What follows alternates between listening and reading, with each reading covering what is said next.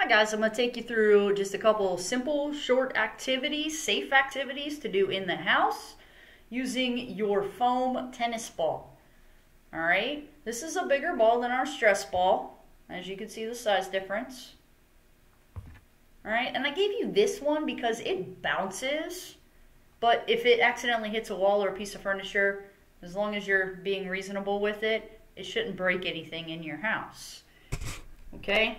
So I want you to work on your bounce catch activities with this. Bounce and I catch. I want to start out with two hands at first and then bounce and catch with one hand. Switch to the other hand. Make sure you're always practicing with both hands. And then in a V shape. So imagine that you have a basketball here and we're working on basketball skills. So I do it with one hand, bounce and catch.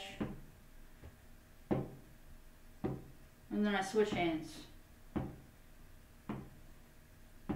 And if you guys watch the uh, activities with the small smiley face stress ball, and some activities where you could go around your body. You can do it with this too, if you have the bigger hands. And then you could figure eight through your knees as well.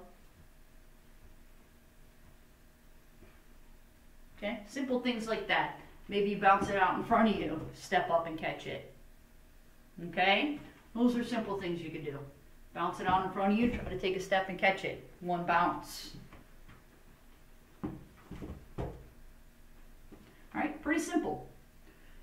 And then you can practice the other ones, like throwing, tossing it up and catching it. If you're with the bigger ball, two hands, one hand, the other hand, Stay with it. See, I didn't take my eye off of it. Always look at your target. Overhand. And it flew away. But that's okay because it's soft and I was being reasonable with it. And therefore it didn't break anything. So there's simple activities that you could do with your, hold on, I'm going to grab it.